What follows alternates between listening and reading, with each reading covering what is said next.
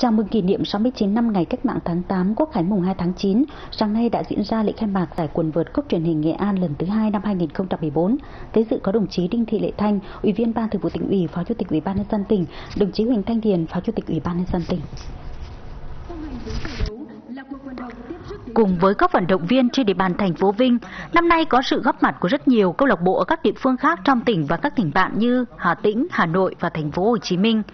Các vận động viên cũng đã có quá trình chuẩn bị tập luyện để tham gia thi đấu giải quần vợt cúp truyền hình NTV 2014 với quyết tâm cao.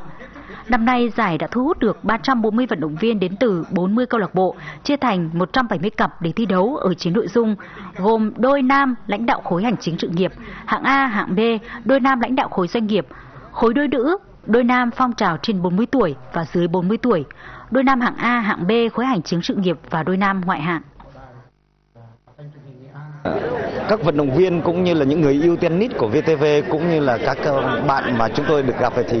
người ta đều có một cái ờ, đánh giá chung là cái quy mô tổ chức của giải rất chuyên nghiệp và nếu như cái giải này ờ, sẽ tiếp tục mở rộng phát huy thì nó sẽ có hiệu quả rất là lớn, không chỉ là để thúc đẩy cái phong trào cho cán bộ, công chức nhà nước để tham gia vào các cái hoạt động thể thao mà đồng thời là đóng góp cái sức mình vào một số những cái hoạt động xã hội khác. Giải quần vợt cúp truyền hình Nghệ An lần thứ hai năm 2014 được tổ chức nhằm động viên thúc đẩy phong trào tập luyện và thi đấu môn quần vợt ở mọi đối tượng, mọi lứa tuổi trong các đơn vị địa phương trên địa bàn tỉnh. Qua hai năm tổ chức, giải cũng đã thu hút và nhận được sự hưởng ứng của đông đảo người yêu thích môn thể thao này. Càng có ý nghĩa hơn khi đồng hành cùng giải quần vợt cúp truyền hình Nghệ An lần thứ hai là các hoạt động tiếp sức đến trường, ủng hộ sách vở, đồ dùng học tập, bàn ghế, áo quần cho các em học sinh có hoàn cảnh khó khăn nơi vùng cao biên giới.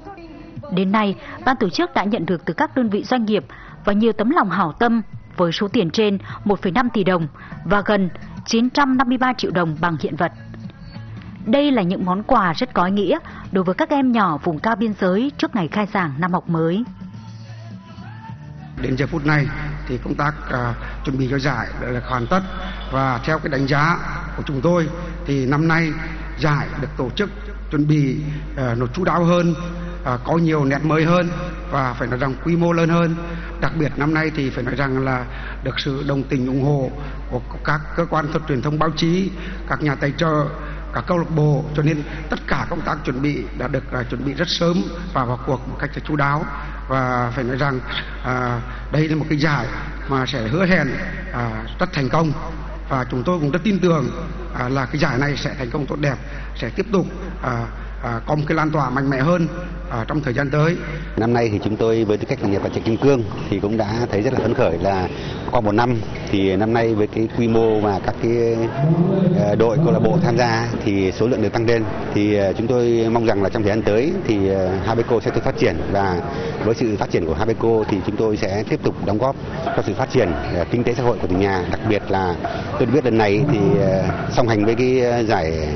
cúp tennis của truyền hình Nghệ An thì thì ờ, cái chương trình để tiếp sức trẻ đến trường cũng được các nhà tài trợ rất là quan tâm.